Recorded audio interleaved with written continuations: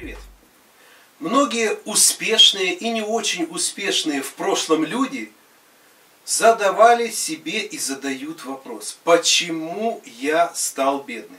Конечно, на бедность и нищету влияет много факторов, абсолютно много, но один, один из факторов – это обстановка вокруг вас, вокруг вашего дома некоторые вещи могут негативно влиять полностью на все ваше жилище и препятствовать проникновению сюда положительной, денежной и другой энергии. Также некоторые вещи и факторы могут просто вытеснять эту денежную энергию и энергию удачи из вашей жизни. Она у вас была, и она от вас ушла. Итак, что же это за вещи, которые могут убрать и забрать от вас удачу и закрыть ваш денежный канал? Ну если вам нравится мое рвение помочь людям быть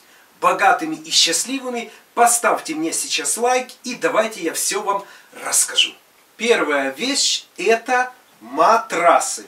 Это матрасы, это диваны, это кресла, и потом уже идет другая антикварная мебель. На первом месте идут кровати и матрасы. Никогда не покупайте бэушный матрас. Первое. Многие люди, которые умирают, их родственники продают потом эти матрасы. Умирают не только бедные люди, которые имеют вот такой матрас за 100 долларов, а умирают и богатые люди.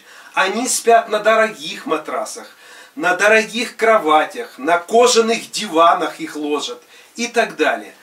В этих матрасах, в этих диванах концентрируется очень сильная негативная энергия от больного или умершего человека. Далее, следующим предметом который может э, негативно влиять на всю вашу обстановку, ваше жилище и передавать негативную энергию, негативный какой-то момент, служит картины. Особенно в оригинале. Итак, картины, на которых изображено страдания, пожары, какие-то другие бедствия, что-то подобное, нужно с осторожностью покупать желательно людям, которые ранимы, как я и сказал, или со слабым биополем, такие картины вообще не покупать и не приносить в свой дом, а покупать только положительные картины. Картины с положительным сюжетом. То же самое касается и фотографий. Сейчас очень модно в рамки вкладывать различные фотографии и декорировать интерьер. Все то же самое, только все должно быть положительно. Далее, следующий момент. Это ваши вещи. Абсолютно любые вещи. Я знаю, что у людей, ну, которые э, образуют средний класс, много вещей. И у меня тоже очень много вещей. Примерно раз в полгода, иногда раз в год я прохожусь по всей квартире и выкидываю все вещи. Запомните такую очень сильную фразу. Если вы не используете любую вещь, ну, например, вот эту футболку, вот у меня тут куча стеллажей, и у меня лежат различные вещи. То же самое у вас.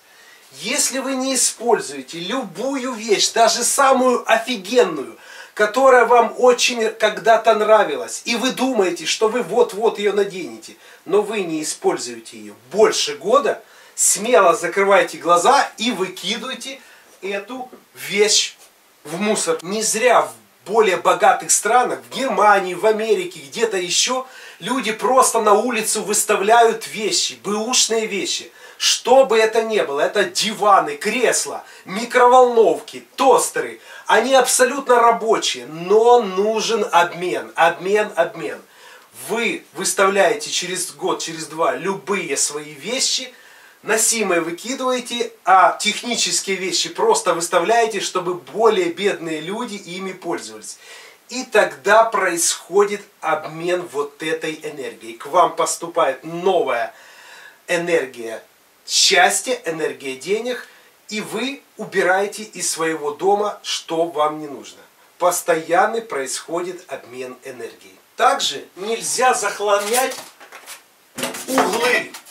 Все в углах должно быть свободно. Супер свободно. Все это выкидываете, это не должно здесь лежать. Естественно, там все должно быть вымыто. Каждые неделю, две, месяц проходите по своим всем углам, все вытирайте, все вымывайте. Там ничего не должно лежать.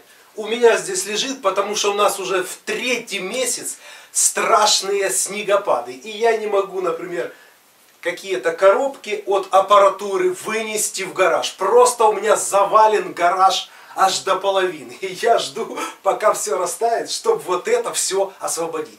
Такого делать нельзя ни в коем случае. Вот и все.